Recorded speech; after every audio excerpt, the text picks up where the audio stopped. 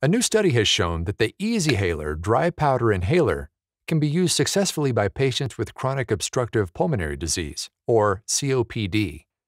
In COPD, the airways are narrow, which makes breathing difficult.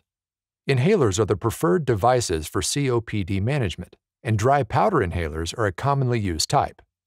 However, for dry powder inhalers to work properly, patients must be able to inhale with enough force to breathe the powder particles deep into their lungs. Such forceful inhalation could be a challenge for people with COPD. To examine the success of EasyHaler use in patients with COPD, researchers compared two versions of the device with another type of dry powder inhaler, the HandiHaler, in 100 patients and 100 healthy volunteers. After being taught how to use the devices, the participants inhaled three times through each device in a random order. Because multiple inhalations were performed in the study, a placebo was used in the devices instead of active medication.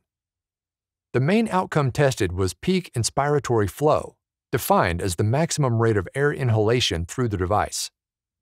The patients and the healthy volunteers achieved similar peak inspiratory flow rates for all the devices. In addition, all of the subjects achieved the flow rate of 30 liters per minute required for the EasyHaler to be effective even patients with severe airway obstruction. These findings indicate that the breathing difficulties of patients with COPD don't prevent them from using these inhalers properly, especially the EasyHaler.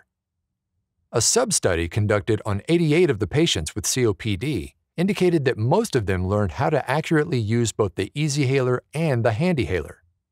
In addition, most patients preferred the EasyHaler. Notably, the peak inspiratory flow rates measured with the InCheck dial tool for all three devices correlated well with the rates measured via spirometry. Although steps were taken to reduce bias, this study was open label, meaning the participants knew which inhalers they were using.